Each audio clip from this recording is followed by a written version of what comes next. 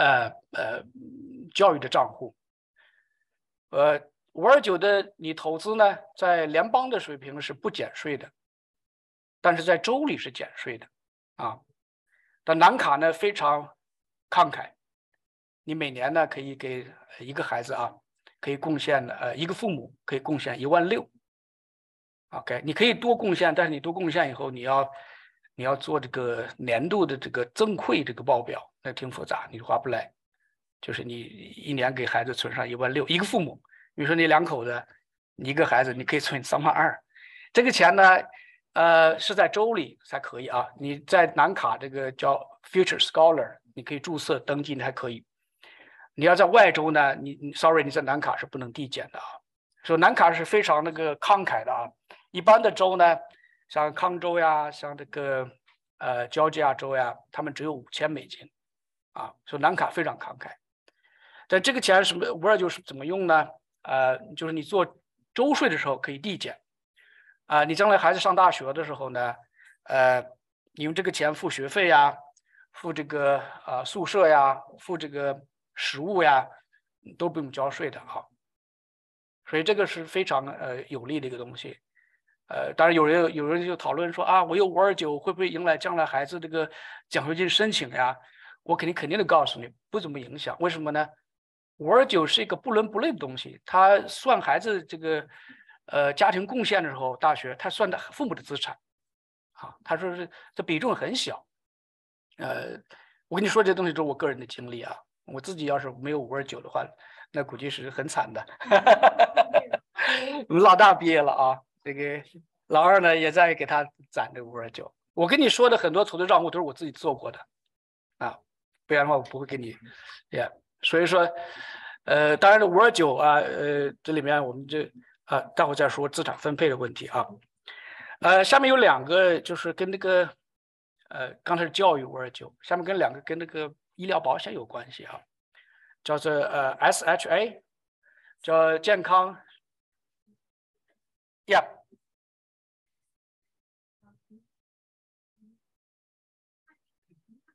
Yeah. Yeah.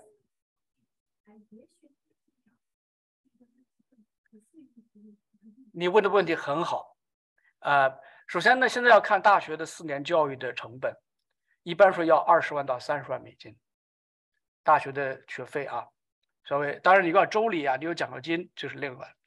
另外，另当别论。来回答你的问题：如果孩子不问、呃不问、不用这个钱，我怎么办？像十六万、二十万，对不对？这个巴登政府去年八月份出来那个，no no no，应该是这个去年十二月份出来一个叫呃 Security Act，就是安全 Act，呃版本二点零，它允许你转成孩子的孩子变成三岁之前转成孩子的 Roth IRA。转成他的退休计划，这小子、小姑娘或者小伙子什么都没干，退休账户就是一笔钱，啊。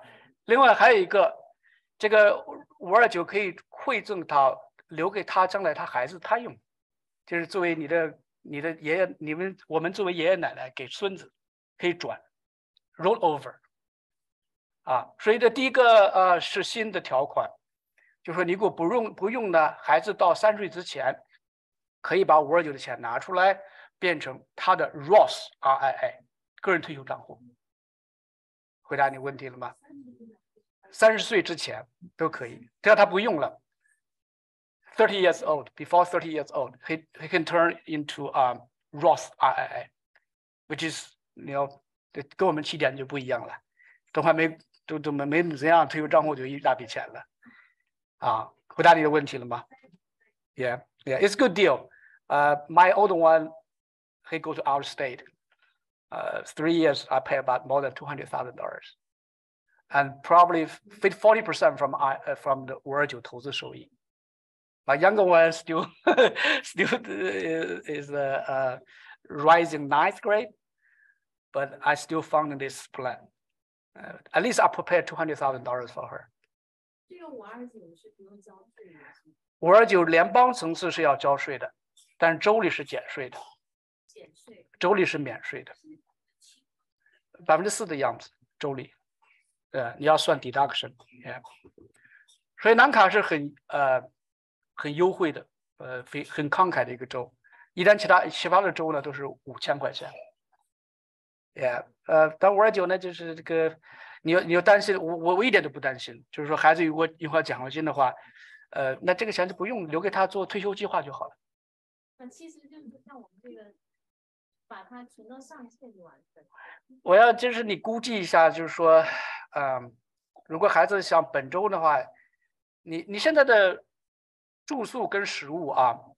一年要一万美金的，OK，住宿就是 dorm 跟呃 boarding food，呃就是一万美金，四年就要五万块钱。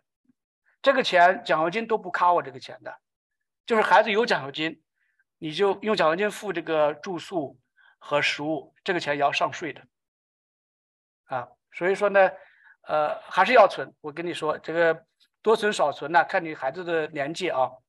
如果孩子很小的话。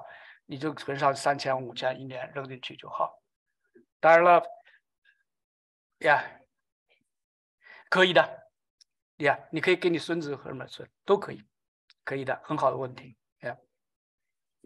呃，我我刚才听的意思就是，王老师，就你给给下一代存了之后，然后他也可以把它转给第三代，对他可以 roll over to 其他人，享受的呃优惠是一样的。就是他不用再补税，在州里不用交罚款，可以，你可以给任何人存，给我们家小姑娘你也存一点，可以的。啊，呃，OK，对，一个孩子一个父母一万六，Yeah，mom，妈，Yeah，妈妈可以给孩子存一万六，爸爸也可以给孩子存一万六，Yeah。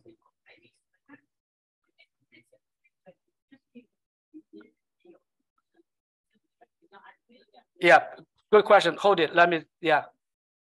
OK. 下面那个小呃，Let me 讲回答我我稍微等一会儿啊。下面讲那个叫健康的呃健康的 saving account，就是小钱了，一年你可以存上，取决于你这个健康保险有没有 high deductible。呃，这这个小钱一年你可以，就是如果你健康，如果孩子有很多大了，那一般是没孩子或者是，那么你就可以买那个健康保险，很便宜的。那 deductible 非常 high，就是，然后你就可以存这个呃健康储蓄计划，那个东西就不少钱，那个钱不很多啊，几千块钱。所以总之呢，就是退休计划，呃，健康呃退休计划，四零幺 K 呀，呃，个人退个人退休计划呀，Roth IRA 呀，五二九，都有一个共同的问题，就是你刚才现在问的问题，什么东西产品进行投资啊？那么这里面就是说呢，你你在开这个户的时候啊。你去呃证券公司呀、银行开着户的时候，你就要问有哪些金融产品你可以投资啊？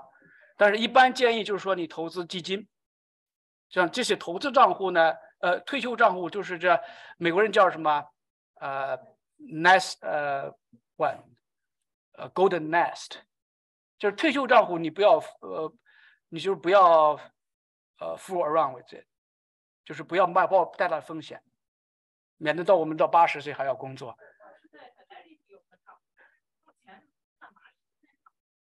啊，你就是要这是投资的问题，就是说你要 Fidelity 挺好的，然后 Vanguard 都挺好，它就是投资基金，就是说基金就风险稍微小一些，啊，就是投资要建议投资基金啊。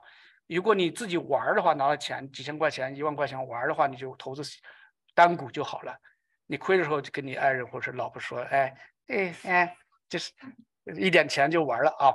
但是就是你要问一下，就是他可以投资什么？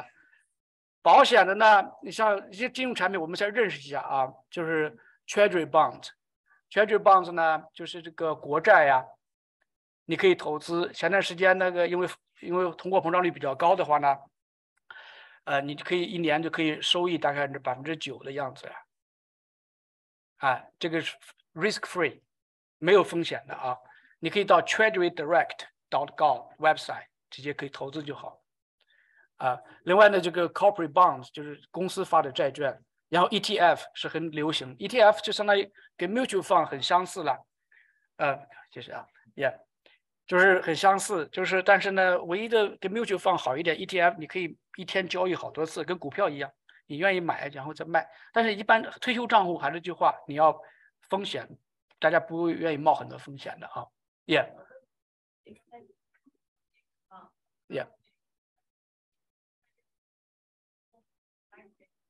Right，对，它都有风险的。Right。对，你看我这个列这个单子啊，是缺呃缺呃 Treasury bond 就是国债，Corporate bond，然后 ETF、Mutual fund、Stock，我是按照是风险逐渐往上抬高。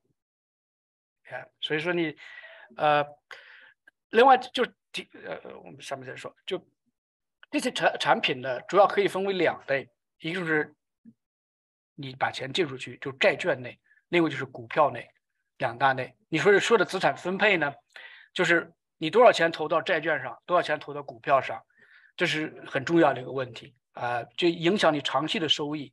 一般的年轻人呢，比如说你有孩子大学毕业了，参加工作了，我就跟我儿子说，hundred percent equity，把钱存入在股票里。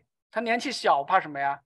他这个将来还有这个一个几十年的路在走啊。但是如果年纪上大了呢，就是你要逐渐的把钱从这个 equity 转到这个债券上，因为年纪大了，心脏也不好，万一股票这个跌着，这个这个命都没了，还要不要谈钱了？所以这个呃，总体两大类，呃，债券或者是股票啊。那当你选这些东西的时候呢，一定要选两，考虑几至少两个因素啊。一个是他公司收的费啊，这个很重要，因为你你在。退休账户的投退休账户里投资啊，你至少把钱放在里要要多少年呢？想一想，就是三十岁，你读博士出来三十岁工作晚了啊，那本科毕业二十二岁工作，那到是六十七岁，中间就讲成四十五年，几十年的时间，对不对啊？然后你这个投资的这个期这个 horizon 很长，就是投资这个期限很长，这种情况下你可以把多部分钱放在股票里啊，但是这个费很重要。你说这个，我们学学金融的，就是说有有有 passive management 和 active management funds，。就 passive，你就你就买这个像股指基金啊，啊比较流行的，比如说是呃 Stanford 呃 five hundred index fund，你买了就放着不管它，平均来看一年给你百分之十的，一年百分之十你什么都不做，啊。所以你这个的呃呃，我不知道大家有其他的很好投资办法，你可以有，但是就是在退休账退休账户当中呢，你可以投资到呃被动投资啊，像呃 SP five hundred index 叫是吧，Stanford 呃五五百啊，这个 index fund。那么这个费很重要，如果是这是 passive，就是说什么意思呢？就是你投资了不用再管它。你每年交的费呢？我们就说大概十二个呃 basic point，叫十二个 BPS，什么意思呢？百分之零点一二一年啊，就付这个钱。但你投资的 active 呢，你要算一下，呃哦，收你这个五十六个百五十个百分之点，就零点零点五 percent，你这个不得了的。他这个你赚不赚钱，他都要收这个费，就像于赌场一样，right？我们去赌博去玩儿。我们赢了和输都不要紧，但是那个那个 the house，他们主要 make money，right？So 这个费很重要。一般你说你要是被动投资这个基金的话，超过二十个百分点，就是零点二 percent，我就觉得很贵了啊。但如果是你投资的呃这个基金里面，它这个基金是做 active management，就不停的在呃在投资新产品，你的费用就很高。啊，一般那个呃退休账户不愿意不建议投资这种呃呃 active management，因为你付的费很高，你你五十个百分点百分之零点五 percent，因为你赚钱不赚钱你都要交这个钱，所以时间长的话，你你这个大家都知道这个呃这个去 Las Vegas right，we have good time，but you losing money and the house making money anyway，所以哎所以这个的就是就是无论你哪个账户。都有一个资产分配的问题，都有一个那个哪个产品呢？你进行投资啊，呃，这个这个很重要。OK，All right，当然就说你退休退休账户的，你要你要知道，你把钱放进去呢，你确实是否呃是要长期的投资。OK，你的钱在里面长期的转动。当然了，如果你急需要钱的话，现在它有一个有个叫叫 hardship withdrawal。你比如说我我失去工作了，啊，或者我我我我们家出大事了，那么你可以从这退休账户拿钱，不用交罚款的，啊，叫 hardship withdrawal。OK。这可以的，不然呢？不然的话，你就要觉得投资账户的退休账户的钱不要轻易取出来。你取出来了，那你将来到六十岁、七十岁了，呃，社保有一部分，但是社保的钱很少的，一个月两千、一千，取决你工作时候的工资水平。那个钱基本上可以搞买那个养老、买那个医疗保险了额外医疗保险的钱。所以说，退休账户的钱呢，尽量不要。动它，啊，就是在里面投资就好了，呃，然后投资增长呢是不用交税的，不用管它啊。Yeah, more questions? Yeah.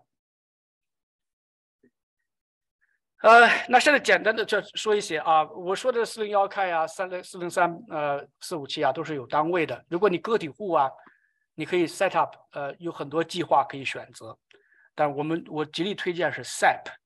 啊，simplify employment 呃，what employee plan，SEP 是什么意思呢？就是公个公司去投给大家建立这个呃退休账户。你公司今年比如说你饭店生意好了，呃，那么你给呃你给大家的雇员呢都开个退休账户，他的他的放他放你的钱呢可以基本上是百分之二十你给这个员工的报酬，或者是五万八哪个小啊？这是个体户。呃，我们很多创业者啊，可以可以建立退休账户，这个很好的啊，因为大家就很多，你有你有 business，你有生意啊，就都是父子兵啊，都是夫妻店啊，或者就是姊妹啊，你就开这个账户，这也挺好的啊，大家就到老的时候呢，呃，有所依靠吧啊，这是个体户啊。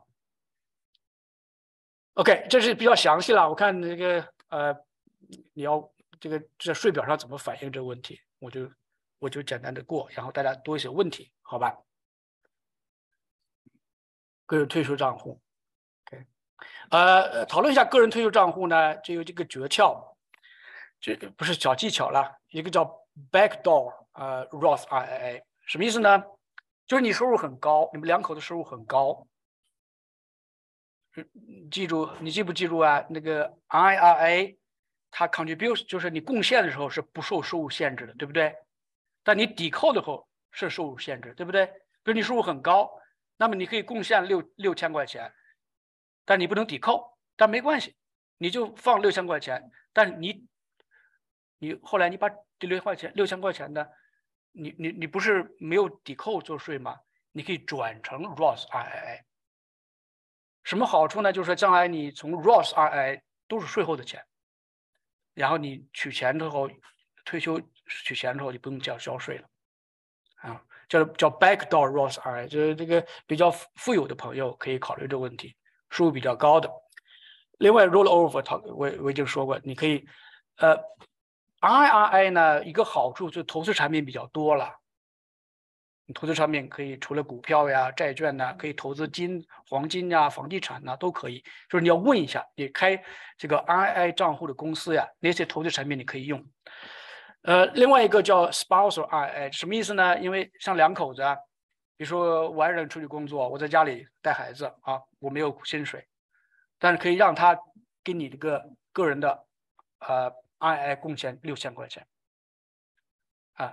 同样，same same logic，你老公出去工作，爱人在家里带孩子，没有 W two，那你要你老公给你贡献六千块钱。这个 IRA 呢，没有空夫妻共有的这个说法，你的个人退休账户就是你的，我的就是我的，虽然是夫妻啊，这个没有夫妻共有的概念。所以这个你你回家，特别是你是夫人呢，在家里带孩子也很辛苦，你老公在外面拿工资回家，绝对是大老板。那你让他贡献你这个个人退休账户里去啊？如果他不贡献，你给我打电话有问题的啊。这叫 spousal IRA，OK？个人退休账户呢，呃，不没有夫妻共有的概念，他的就是他的，你的就是你的啊。这对你这个财产独立啊，将来生活独立很有帮助啊。特别在美国这个离婚率很高的地方。Anyway，OK，我们一直讨论过呃五二九啊啊，你如果 set up 呢，就知道这个南卡的叫 Future Scholar website 啊，它里面呢。呃，它跟自动跟你这个银行账户是连起来的。你把银行那个 router，呃，银行账户输进去，它自动从银行里赚钱的。那里面投资产品至少有三个啊，我记得啊，一个是 large cap，large cap 呢 funds，就是说这它投资的是呃大的公司的这个股票，这个基金呢，比如说像什么 Google 呀、Apple 呀、呃，you know Microsoft 这种，相对来说呢，大股票公司股票呢要安全一些。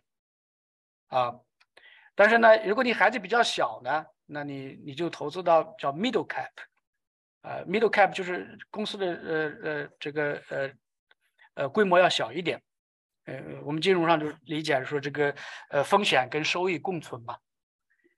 你像我们家这个呃老大呢，我们当初给他存的时候呢，他就他就已经高中了，就或者是初中了，就马上上大学了，那我就不能给他冒太多风险。我就把那个钱放在 large cap，啊，它收益虽然少一点，但是这个风险呢也小。但小姑娘呢，她这个年纪小，我们存的早，那我就把钱扔到 middle cap，就是收益稍微要高一点，但风险要大一点。取决你们孩子这个年纪啊，因为很小的话就 middle cap，让它涨就好了，让它涨就好了。呃，有问题吗？对不对？对。All right，这是这个呃健康呃呃储蓄计划，这个很小了。如果你年轻又又觉得身体很好，你就买个医疗保险，很便宜的，就 high deductible。比如说你自己啊，自己单身了，你还什么叫 high deductible 呢？就是说你 maximum deductible 是七千五，就是你自己生病了要自己要付这七千五百块钱。那买保险的目的就是大病了，就是防止大病。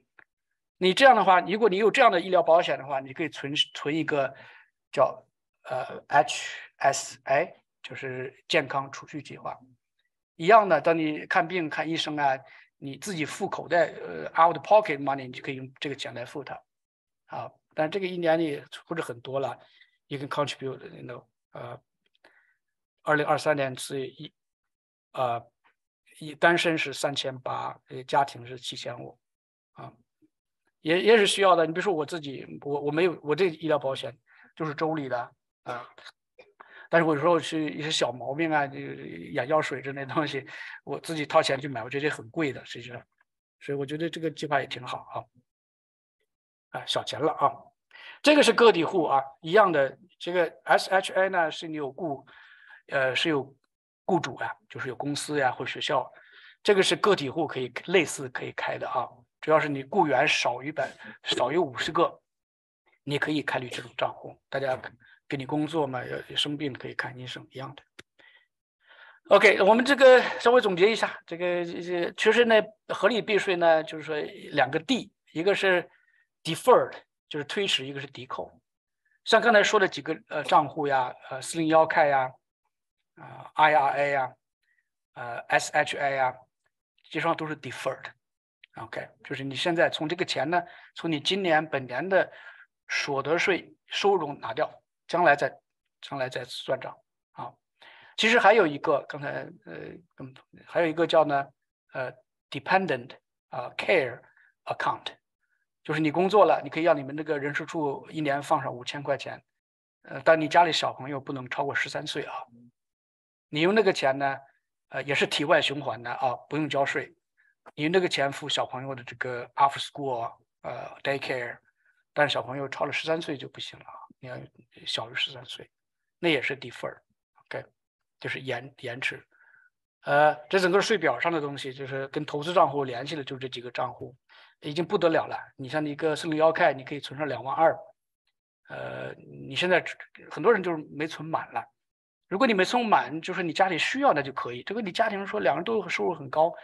你这个钱拿回来觉得没有出去处，那你就把它打满了，就在退休账户里去进行投资啊，这样你不用不用交税。哎，这些小技巧，这都是这这个我以前在我微信上跟朋友 share，这没什么意思，都是小钱了啊。呃，就是税表上怎么怎么做。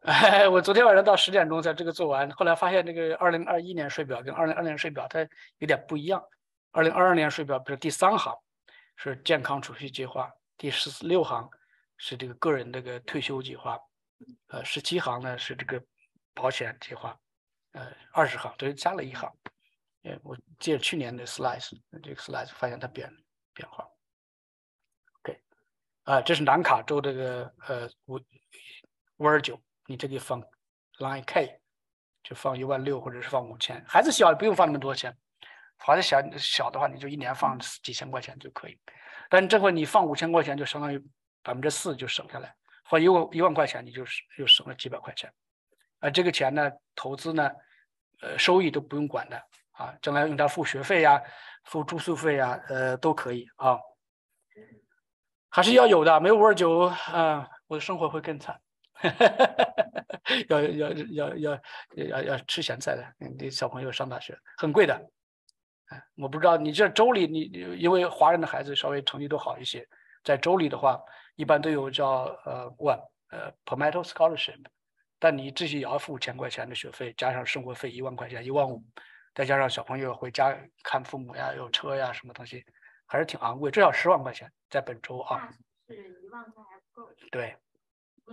也一年，也也，你这个学，你这孩子多，你对这个，对，呀书本费啊，书本一，我们在学校里教书，一个课本现在一年都有两两两百五十美金。也，所以说你孩子计划，我们都是这样，华人呢比较注重教育，教育是投资呀，确实是昂贵的是投资啊。也至少二十万一个孩子啊，回家琢磨琢磨。但是你不是一年存二十万，你这个十八年存二十万，二十二存十万。OK，呃，这个呢我已经谈过了，就是我们学金融呢，呃，最重要就是要要要要看你的钱分配上，债券上还是这个股票上。股票来讲呢，稍微风险要大一点啊，债券上收风险小一点，但是你的收益也小。嗯嗯，其实我自己的话，就是去年投了一点这个呃国债，因为通货膨胀很高嘛，那我能拿到百分之八、百分之九，那何乐而不为呢？但是它有限制，它只有美国公民和绿卡持有者可以投资国债，但是一个人有限度，就是不超过一万美金。但是你可以馈赠，你自己吴吴会长投一万块钱给你自己，给你老公投一万块钱，给你儿子投一万块钱，gift 作为礼品。一家四个人的有四万块钱就下去了，这个一年百分之八、百分之九啊，那也挺好，right？先把那个钱赚来再说。对啊，通货膨胀那个风险是等于零啊，是美国股、美国这个美国政府借的钱。对，现在降了，它那个不停在变化，它是它利率是调整的，它利率就是说有个基本的利息，比如说百分之一，那么剩下就是通货膨胀率。如果通膨通货膨胀率是百分之八的时候，它给你利息百分之九。如果通货膨胀率现在降到百分之六点四，它给你七点四，就是这种。但是你投的时候，它是锁定这个利息的吧？基本利率是锁定，百分之一是锁定的，那个调整部分是根据呃通货膨胀率来算的。哦，那就等于说我去年投的钱，我拿到百分之九。对。今年通胀变低了，他只是给我加一点，我就拿到百分之七了。对，他是这样算的，就是说呢，啊，你去年比如说投资了一一百块钱。那去年的利息是基本利息是百分之一，right？通货通货膨胀率百分之八，加起来百分之九，到年底的时候，你的本金就变成一百零九块钱，就加到你本金里面去了。那你明年呢？你利率你通货膨胀然后百分之六，它基本利率是百分之一，然后你百分之又变变变变成一加六七了，对不对？那你一百零九是作为你的新的本金，然后再乘以一一万。I get lost. Yeah，一点零七，right？Yeah，一点零七。它的通胀率不准的，好像。我要它不准呢，它也是，嗯，也是作为基础啊。哎呀，这个这么大的国家，你没有必要，谁知道准它有多准？